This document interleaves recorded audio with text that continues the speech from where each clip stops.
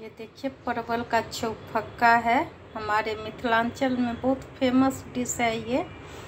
इसको बीच से काट करके भी बनाते हैं, पर मैं साबुत बनाई हूँ, काफ़ी टेस्टी होता है तो आप लोग भी ज़रूर एक बार बनाइए। ये गरम मसाले में बनता है, लहसुन, अदरक, प्याज डाल के।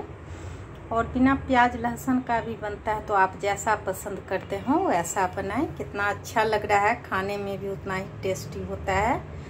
तो ज़रूर एक बार ट्राई कीजिए आप लोग। Thank you so much